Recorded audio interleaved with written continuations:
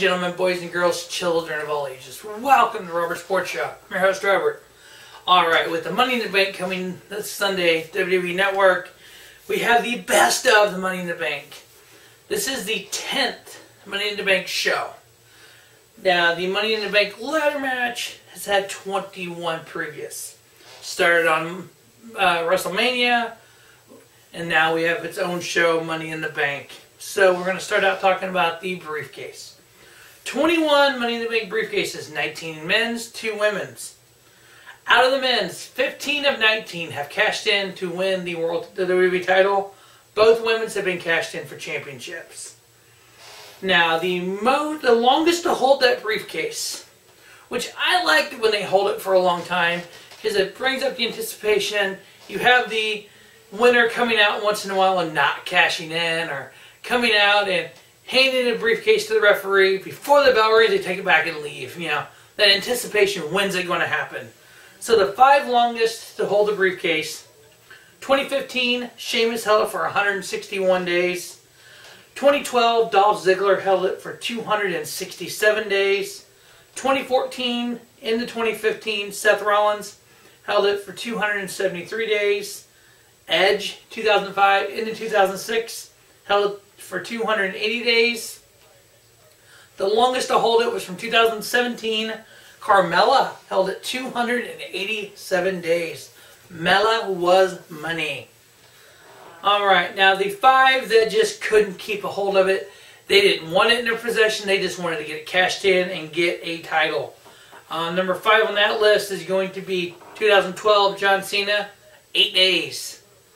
Um, 2010 Jack Swagger won it on Sunday, tried to cash it on Monday, end up not, and cash in on Tuesday on SmackDown. Uh, number these last three all cashed in the same show on the Money in the Bank uh, pay-per-view. Alexa Bliss 2018 held it for 172 minutes. One first part of the show cashed it in like like three matches for the end of it.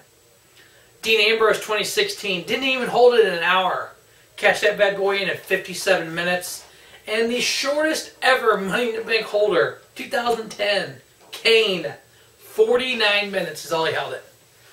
Um, so now, this year's Money in the Bank.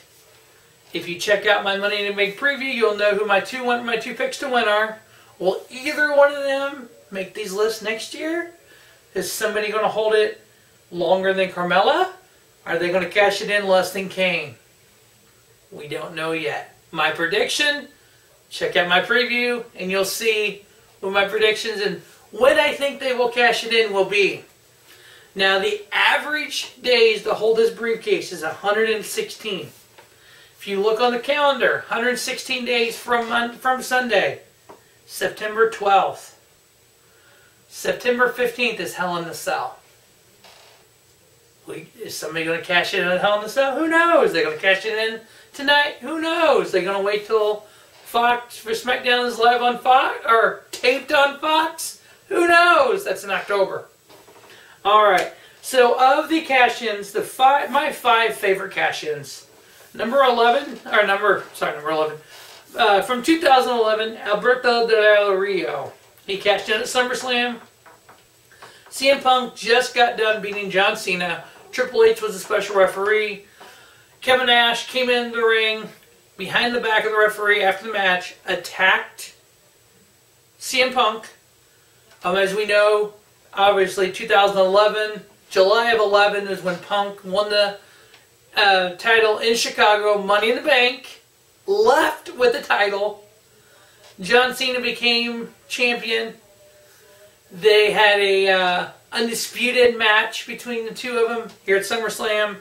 Del Rio comes out at the end. Uh, ends up cashing in on CM Punk. Number four on the list comes from 2009. CM Punk, his second cash in.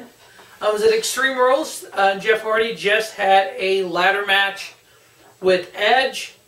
Um, Jeff Hardy winning, his first time winning the world title. He gets cashed in on by CM Punk. Number eight on the list was CM Punk as well from 2008. Punk cashed in on Monday Night Raw on Edge. Um, what made this more than the other one to me is Punk ended up wrestling again that night versus JBL for the title and retained it. Um, it was JR coming out and doing his uh, farewell speech on Raw. Um, but, uh, um, Edge uh, interrupted him with the Edge heads. Edge cutting his heel ass promo. Um, I mean, it's saying we don't have heels like this any longer. Edge cutting this heel ass promo saying that you know he dra got drafted to SmackDown that you'll never see him on Raw again. Nobody on Raw will ever go for the world title. You'll never see Undertaker again because I took him out at WrestleMania. Just the heel Edge, the entire crowd booing him. Dave comes out, attacks Edge, leaves. Crowd is cheering that Edge got attacked. Punk comes out and cashes in and wins his first ever world title. The one thing that made 2009 Money in the Bank case run better for me is Punk was uber heel at the end of it. He just turned in the middle of it. Um, number two on the list, um, 2005 Edge, when he cashed in the first ever Money in the Bank after Elimination Chamber at New Year's Revolution on John Cena. And just the way he came out with Vince and was like, with the briefcase to Vince on the ramp, ran down with the referee, cashed in and won. The first time ever we ever seen a cash in. And then obviously number one on the list for me, 2014, Seth freaking Rollins, WrestleMania, the biggest stage of them all, WrestleMania 31, San Jose, California. Just him running down the ramp in the middle of the match and cashing in and end up winning. After the match, and um, it was Reigns, and Lesnar. And then at Mania, at a Rumble that year, it was Cena, Lesnar, Reign, Rollins. And that was a fucking four-star match. You thought Rollins was going to win the world title there. And then cashing in here, pinning Roman Reigns to win the world title. Great, great moment there. The best Money in the Bank matches, ladder matches.